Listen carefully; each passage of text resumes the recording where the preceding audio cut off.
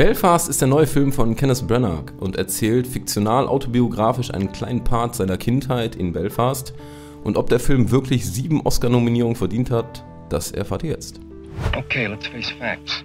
Der Protagonist vom Film ist der neunjährige Buddy, der in Belfast der 60er Jahre aufwächst. Ähm, seine Familie ist eher in der Arbeiterklasse ähm, platziert und ja, es geht um seine erste Liebe, es geht um sein Leben in Belfast, es geht um äh, die Aufstände, die 1969 in Belfast ausgebrochen sind.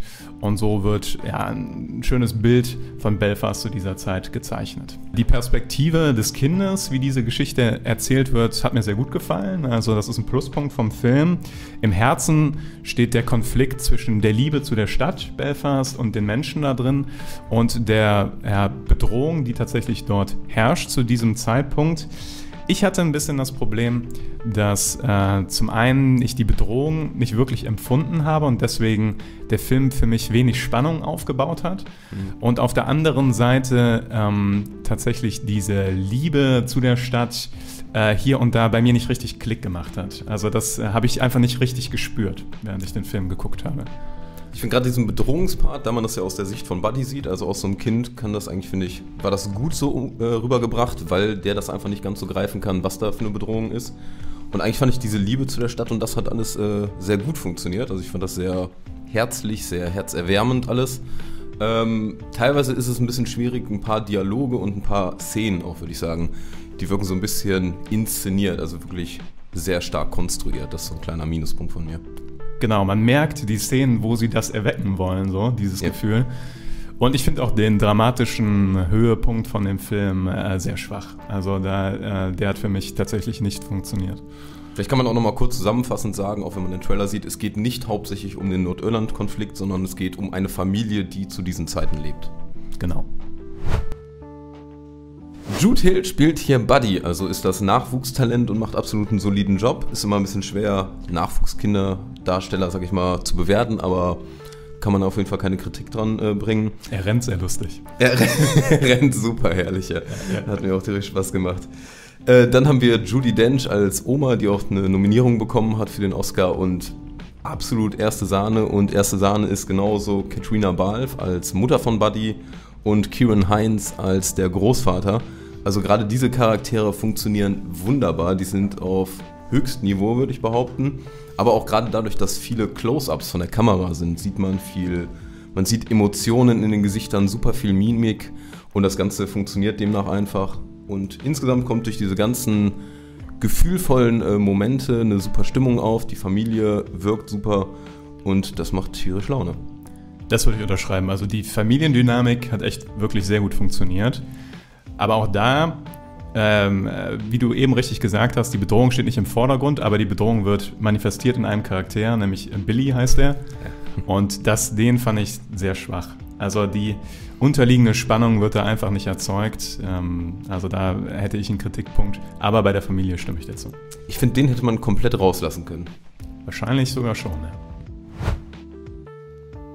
Und wie immer noch ein paar Worte zu der Produktion. Da sind mir zwei Sachen zentral aufgefallen. Zum einen der Aufbau der Shots. Ja, hier ist sehr schön realisiert, dass man das lauschende Kind an dem einen Ende des Bildes immer hat und den, den Dialog zwischen den Charakteren auf der anderen Seite des Bildes sehr schön gemacht äh, mhm. für die Perspektive. Und dann das Schwarz-Weiß, was natürlich prägnant ist. Ausnahmsweise hat mir das eher nicht so gut gefallen, weil es ähm, mich zeitlich ein bisschen rausgeworfen hat, als ich den Film gesehen habe. Im Endeffekt habe ich verstanden, als ich die Fotos aus den Zeitungen von damals gesehen habe, dass dadurch halt dieses Gefühl geweckt wird tatsächlich. Aber 69 vergleichsweise spät für Schwarz-Weiß. Was mir daran aber gut gefallen hat wiederum, ist die äh, Farbe in Filmen und im Theater, mhm. was hier umgesetzt wurde innerhalb des Films. Und das hat mir, ja, ist mir positiv aufgefallen. Also. Ja, also gerade dieses Schwarz-Weiß, das wirkt immer so ein bisschen künstlerischer und man hat so ein bisschen das Gefühl, ist das so ein bisschen Oscar-Bait-mäßig. Aber ich fand es tatsächlich eigentlich ganz cool. Für mich ist das weit in der Vergangenheit, vor meiner Zeit und irgendwie wirkt es damit äh, für mich historisch. Und also hat zumindest, finde ich, äh, keinen negativen Eindruck hinterlassen. Äh, zusätzlich, wo ich aber ein bisschen negativen Punkt habe, ist, dass ähm, vielleicht liegt es auch durch diese Straße und durch dieses Setting, aber es wirkt zum Teil sehr konstruiert gebaut.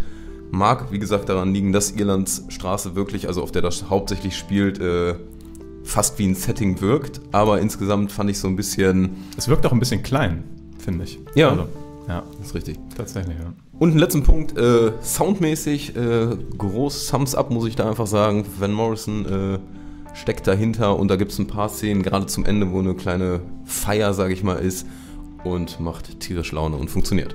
Ja, stimmt. Bevor wir zum Fazit kommen, wenn euch kurz geticken und auch mal ein langes Palaver über Filme und Serien gefallen, dann lasst uns sehr gerne ein Abo und ein Like da. Wir danken euch. Es gibt insgesamt ein paar Abzüge bezüglich der Inszenierung, bezüglich des Antagonisten, könnte man sagen. Aber insgesamt ist Belfast für mich ein super herzerwärmender Film, der super funktioniert, auch mit dem Schwarz-Weiß. Ähm, Im Vordergrund muss man halt sagen, steht eine Familie mit Konflikten, mit eigenen Beziehungen zueinander. Und wenn man sich darauf einlässt, dann ist das wirklich ein Film, der absolut Gefühle und Emotionen weckt und mir tatsächlich also super Spaß gemacht hat. Deshalb äh, vier Sterne von mir. Ja, er hat bei mir nicht ganz so Klick gemacht wie bei dir und es ist wahrscheinlich ein bisschen die Gefühlslage beim Schauen tatsächlich. Ähm, ich fand ihn ein bisschen langweilig, muss ich leider sagen. Deswegen kriegt er von mir nur drei von fünf Sternen.